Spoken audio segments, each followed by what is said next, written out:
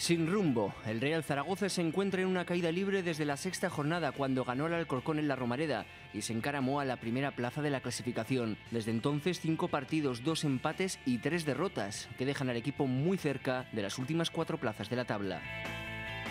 Un desastre.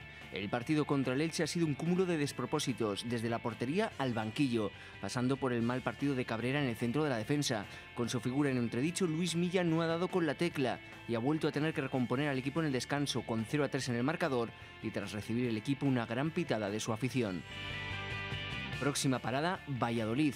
Con Milla o sin él, el Real Zaragoza afrontará esta semana la visita a Zorrilla, uno de los campos más complicados de la categoría. Será probablemente con canilla disponible y con la necesidad de ganar fuera de casa por primera vez en la temporada para reconducir la primera gran crisis del curso.